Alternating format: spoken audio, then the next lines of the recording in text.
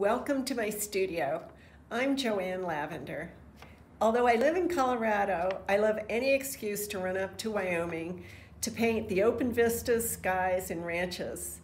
I've been happy to show some of my paintings in the Brinton Museum in the past few years, as well as the three pieces in this year's Brinton 101. The Brinton Museum is an absolute gem of art, culture, and history of our region.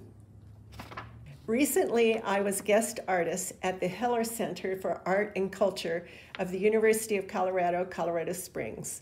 We held a plein air event for a group of artists. The story of our day pretty well illustrates how I begin with an idea and work my way through to a finished painting. We painted outside looking for large abstract shapes with interesting value changes. When I see something I want to paint, I ask myself, what attracted me to this? Why am I painting this? Whatever the reason is, it now becomes my concept, and I try to stick to it like glue. If it is the light bouncing off of a rock, then that is what I paint. I don't paint the barn down the road.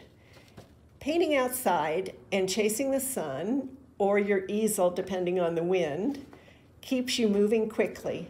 No time to put in each blade of grass. Catch the lights, color, shapes, then move inside to the studio.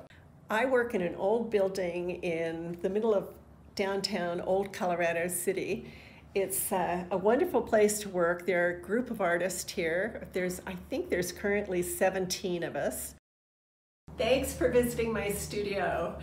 It is so nice to have visitors. Um, I'm going to finish up this painting, hopefully in the next few days, and I hope at some point to be able to meet you in person.